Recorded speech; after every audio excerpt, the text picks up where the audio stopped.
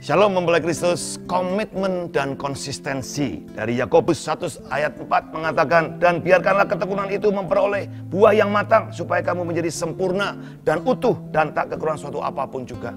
Saudara seorang suami yang memiliki seorang istri yang sakit sejak dari masa mudanya. Dia merawat bertahun-tahun sampai akhir hidup dari istrinya.